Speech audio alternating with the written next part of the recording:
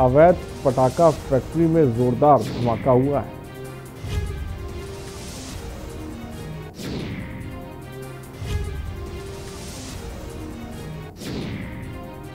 खबर मेरठ से।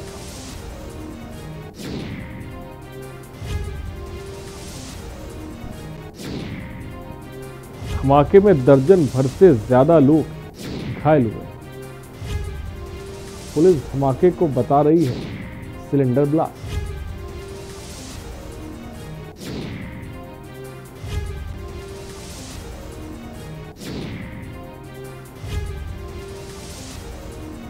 खबर, मेरठ से अवैध, पटाखा फैक्ट्री में जोरदार।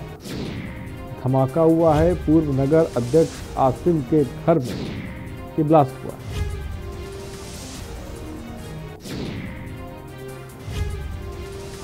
तेज धमाके से आठ घरों की छत हो गई।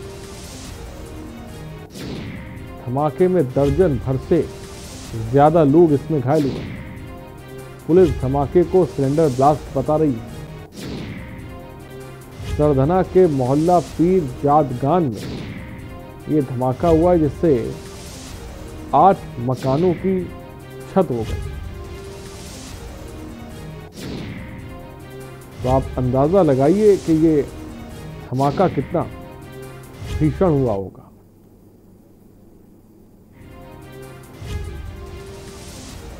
खबर मेरठ से आपको बता रहे हैं।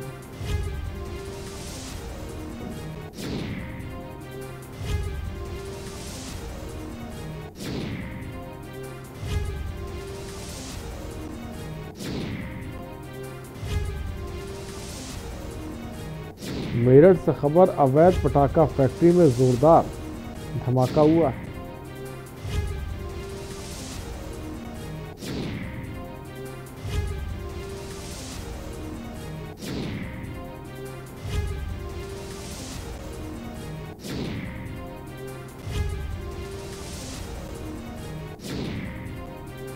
धमाके से आठ घरों की छत उड़ गई।